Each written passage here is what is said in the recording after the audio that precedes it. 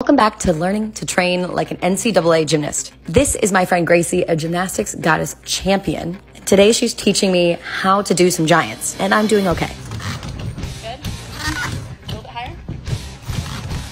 You're good. You're good. You're good. Oh god, I was so close, but I gave up. It's cool. We're good. We're good. She's fine. I think I can do it. Just don't do that.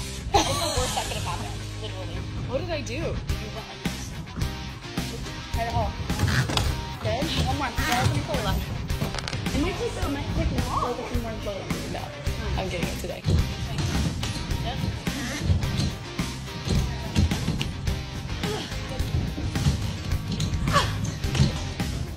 Slow down, slow down, slow down.